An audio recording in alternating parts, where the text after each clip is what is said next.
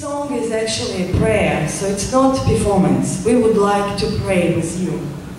And this is a prayer for salvation. First of all, for my people. That's why I brought today this flag, because I want to stand today for my people in Israel. This is my life prayer. Okay, this is my heart, and I'm going to share this with you today.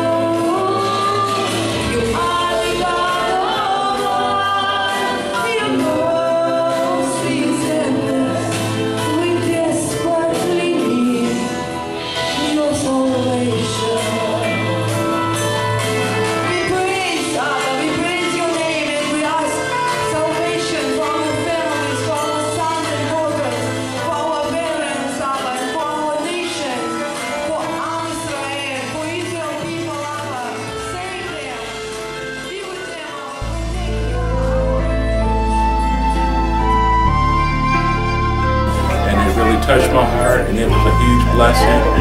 And I identified a lot with uh, with her story, so it was a huge blessing to me to come and hear her speak.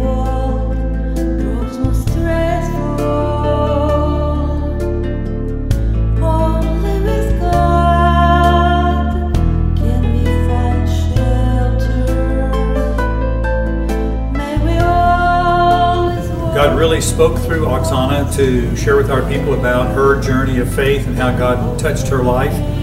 I would recommend anybody have her into their church to share the testimony of what God has done in her life and the ministry she now has through music touches so many people through that wonderful gift that God's given her. So I encourage you to get her into your church, let God use her in a special way. God really used her about surrendering all to Christ today.